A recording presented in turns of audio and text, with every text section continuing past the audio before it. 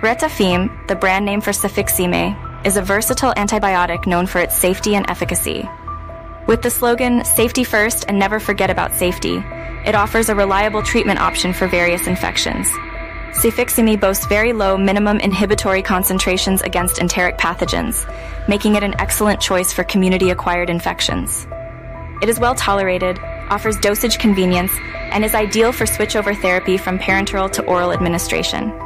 Retafim is effective against many infections, including urinary tract infections, respiratory tract infections, and typhoid fever. It is also used to treat pelvic inflammatory disease, gonorrhea, and bacterial infections in pediatric patients beyond the newborn period. Cefixime is safe for pediatric use, treating conditions like otitis media, urinary tract infections, and bronchitis. It is also safe during pregnancy and suitable for geriatric patients, providing a reliable treatment option across different age groups. For adults, the recommended dose is 400 milligrams once daily or 200 milligrams every 12 hours. Pediatric dosing varies by weight to ensure tailored treatment for children.